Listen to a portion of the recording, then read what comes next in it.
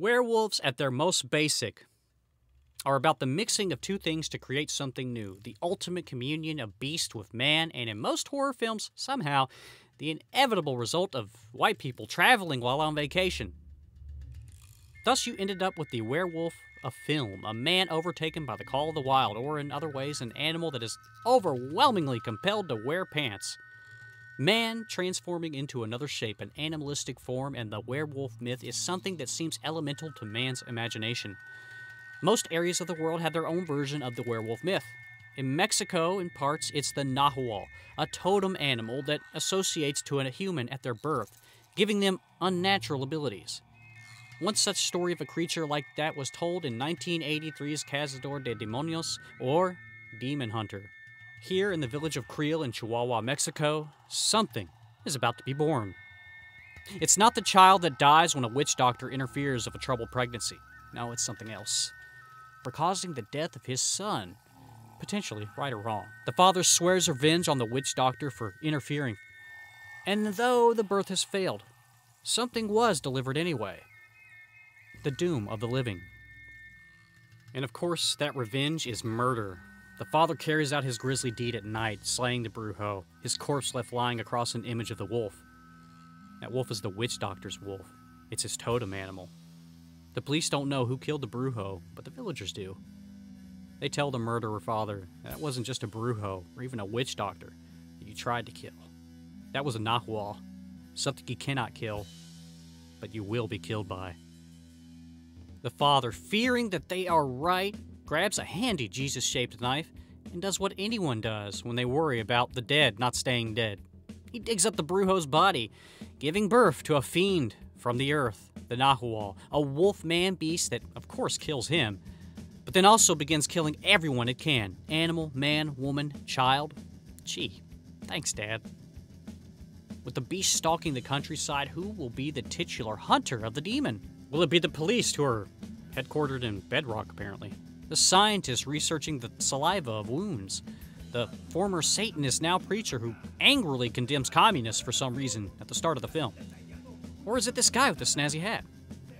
Demon Hunter is a mixed creature that lopes between being bombastically silly and then goes back to being sometimes spooky, never really slowing down into a boring pace on its way between the two, thankfully. The movie's chief strength are its multiple creative moments, like the ghost of the Brujo who appears to float away from an actor in one scene before disappearing. It's incredibly eerie, even in daylight, and I really like that part. I love when the priest again angrily condemns communists, whores, and two slackers, Lupe and Chima, at the start of the film. He's just, just ranting, and it's like, what the hell? Who are these people, by the way? Uh, well, of course, like any good movie, they're talking about people you haven't even seen yet. They end up being two comedic relief characters, like Bulk and Skull from the Power Rangers. Although instead of harassing teens at a juice bar, they're harassing everyone's wife in the shower. They bring the chuckles reliably until they get their throats slashed, trying to rape somebody. Haha, rape. Classic Lupe and Chima. As you've seen, Demon Hunter clearly has ideas to share with the audience, and it's willing to kill real animals and show dead movie children to deliver those ideas. This layer of shamelessness, honestly, it's not offensive. It has a charm to it. It's totally Mexico in the 1980s.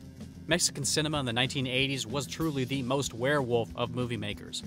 It wasn't too big budget and proper to hold back on the blood, especially kids' blood, but it also wasn't so crazy that it forgot to wear those pants and maintain a decent movie structure.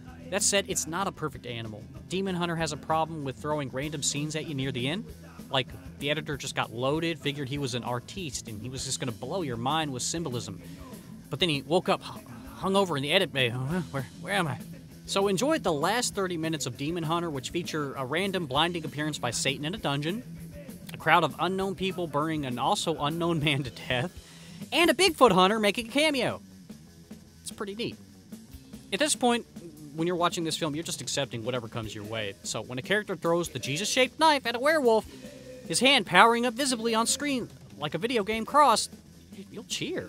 Even when it's fucking up, it's beautiful.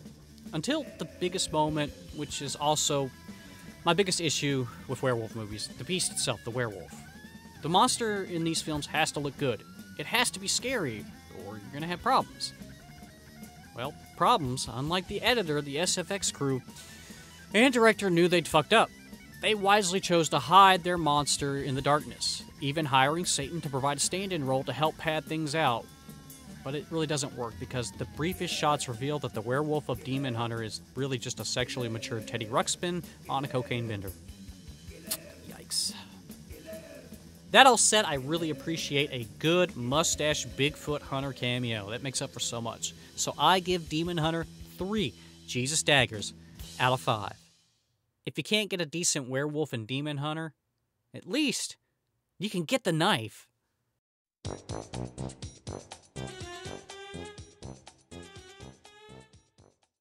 Get the knife.